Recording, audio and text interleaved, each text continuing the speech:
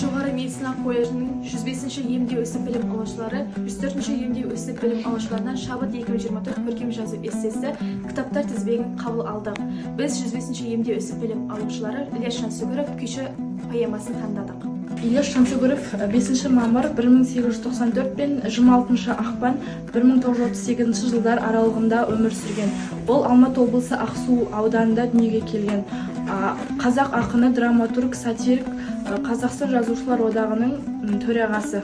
Күйші ілияс жансүгіровтің 1934 жылы романтикалық сарында шалқыған шабытпен поэзиялық құдіретті қуатпен жазылған қазақ әдебиетінде теңдесі жоқ үздік поэмасы.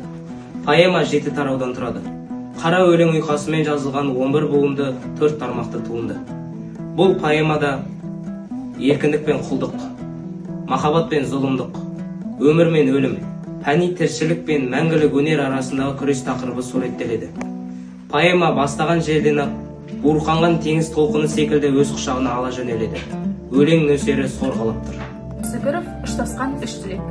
Еркі желдің еркінде елемес еді не берек? Өткен күнде белгі жоқ айта айтпай не керек? Ебелек болса күн қайда? Еркінше көктеп гүлдемек арны дауыл асқақтап көтерілмек өлемек.